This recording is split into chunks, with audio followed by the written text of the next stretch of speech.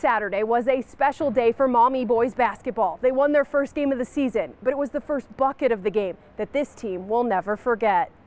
Mason McMorgan is a team manager for the Panthers. He makes sure the guys have everything they need on game day. But Saturday, he went from manager to player. Well, it wasn't like a, it wasn't my normal night. I can tell you that. You know, an hour before the game, we met as a team, and uh, I had him open up a gift, and uh, the gift was the jersey. And so his thought was, and what we told him was, he was just going to warm up.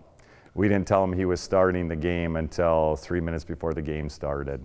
Mason stepped out onto the court, and off the opening tip, his teammates got him the ball down low, and his shot, nothing but net.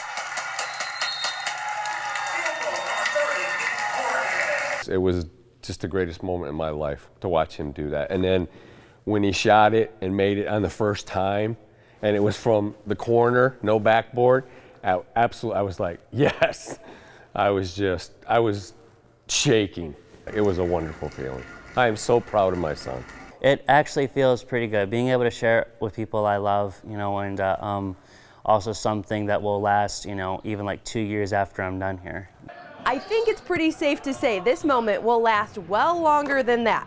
It gave this team and this family lifetime memories. And once it's once it happens, it's it's there to stay. You know, it's it, it never leaves. It never goes away. To see one of our hardest working kids have a moment, uh, you can't take that away. No one can, no matter what your record is. He's worked so hard. He's done so much, and he all he really ever wanted to do was be a part of a team and that's what he's done, and it was absolutely wonderful.